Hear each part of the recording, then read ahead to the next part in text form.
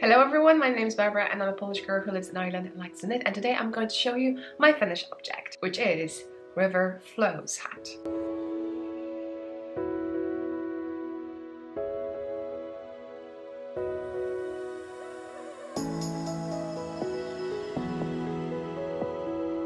River Flows hat is my new design, so if you're watching it now, there is a coupon code valid for 48 hours. River Flows 20. So check it out. I will put links down below to the pattern, which is on Ravelry. If you're interested, grab it if you can. So what I'm going to tell you, I'm going to tell you what tools I use, what yarn I used, uh, a bit of a pattern, just in case you're thinking of it, and let's start. So first things first, I needed a bag and my project bag was this lovely tote string bag. I received it as a gift during the Christmas and it was from one of the yarn events. I haven't attended but someone did and I got it as a present. And I had a keychain on it just to remind me what I have and some stitch markers. Let's start with needles. The needles I used are here. I used drops needles. I have uh, two sizes and we used on the screen we have US size 6 which is 4 millimeters and US size 7 which is 4.5 millimeters. If you have never knitted with drops needles they're kind of not too sharp but they were fine for this project. They have brownish cord and there are things written on it. And my Flower Power pouch cafe chocolate. We talk about needles, let's talk about gauge. The gauge for this hat is 10 stitches by 22 rows and I got that knitting stockinette stitch with US size 6, 4 millimeters. Yarn. The yarn I used I received from Knit Boxes and I'm telling you straight away that if you want to have a subscription I would recommend this one.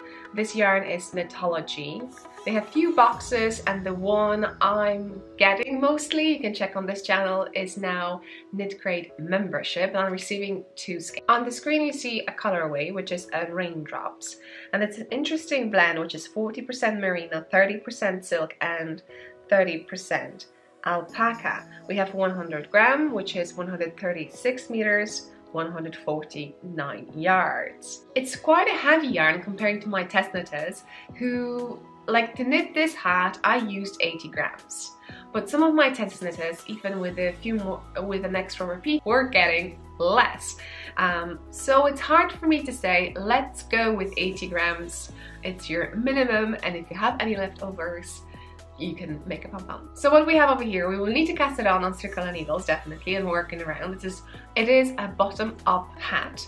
So we start from the bottom and we're doing a ribbing. Ribbing has an interesting purl, you may not have done it, so I would recommend you to do it. We have a, a one round chart for you to repeat or written instructions. The same thing we have for the lace section when we change sizes of the needles and we have a written instruction and also chart. In this hat I did three repeats. I like kind of a beanie style. Um, like I said, I will not fold it but I will show you how it looks folded. So there's option for four repeats which will take more yardage just in case, in case you do that and you're using the same yarn as I do. But I think you should be fine with it if you have the same um, gauge as I do. And then we have crown, which also has written instructions and a chart. Before I do that, you may have noticed I use one of my Knitting I Love tags this is made with Alcantara, which is fabric, and I have stars on one side, and I have a snowflake on the other.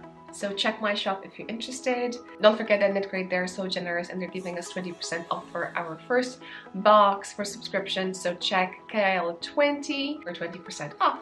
I will leave link down below.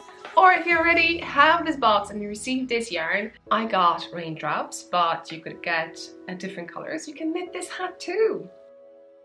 So here how it looks on my head. My head is 22 inches 56 centimeters. It will fit an adult but also a kid. So that's how slouchy it is for me with three repeats. But with a different yarn, I would suggest put a lifeline in case you would want to do three repeats and then finish uh, with um, crown if you think that it's fine when you finish your hat, you just pull the string away or if not you can rip it and you can add an extra repeat. Just saying. And as you can see when I fold it I can treat it as a beanie. With a pom-pom, I prefer this way.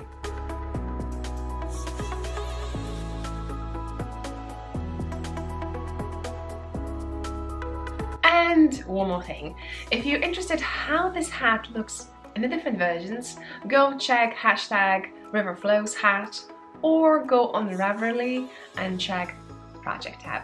I hope you enjoyed this one. See you next one. Show me what you're knitting. Hashtag knitting I love. Bye!